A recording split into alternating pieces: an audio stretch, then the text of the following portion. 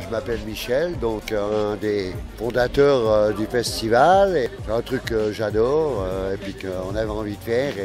Je pense que ça fait plaisir dans la région d'avoir un festival au moins de ce niveau. Ah, c'est difficile, c'est difficile. Euh, je pense que ça va être bien quand même, faut pas croire non plus.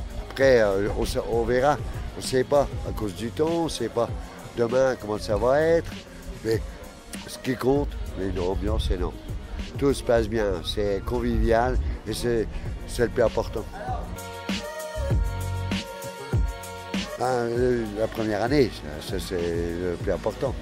Déjà de croiser euh, des, déjà des groupes intéressants qu'on on- on peut écouter, mais qu'on n'a jamais vus et on peut avoir une discussion avec eux. Ça, c'est c'est ma première année. Hein.